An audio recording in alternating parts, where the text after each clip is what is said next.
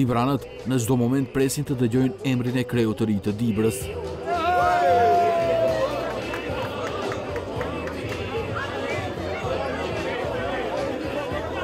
Dibranët me anë të votës vendosën se kush do të udhëheqë me komunën e tyre në dy vitet e ardhshëm. Janë simpatizantët dhe anëtarët e bashkimit demokratik për integrim që po festojnë fitoren e kandidatit të tyre Hekuran Duka. Presot, presot, e kurani u bojë dhe qëtë. Mirëmbrëma të gjithve, shumë faleminderit.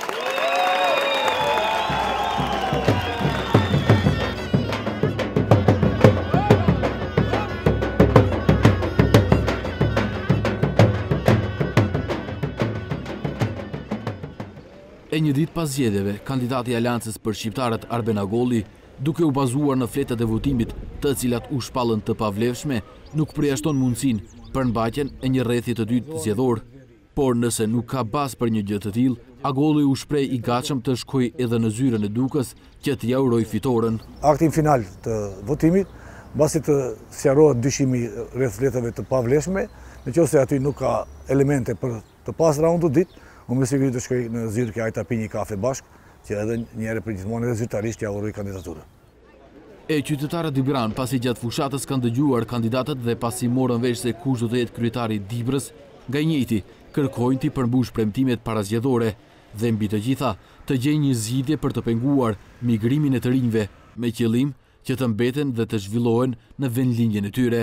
Në përgjithësi, numri i të papunëve të pakësohet, a të mundet edhe emigracionin ta zvoglojë. Po inshallah të bëjmë gjo për të ritë, t'i shtijnë të ritë në ponë, se të ritë na ikën.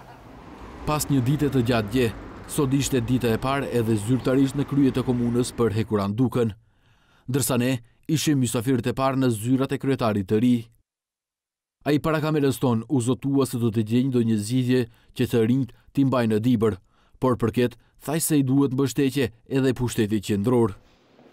Prioriteti i parë që do të bëjë, domethënë, është rregullimi i deponisë, sistematizimi edhe futja nën kontroll e deponisë, pastaj do të pasojë ose paralelisht, zgjidhja e çështjes të ujit të pijshëm, Pastaj problemi me qentë endacakë, rregullimi i komunikacionit në qytet, edhe kam premtu një kënd lojrash për fëmijë i cili do të jetë modern që nënat tona, motrat tona të mos shkojnë në qytetet fqinje që t'i çojnë fëmijët për argëtim, por atë aktivitet ta zhvillojnë në Dibër.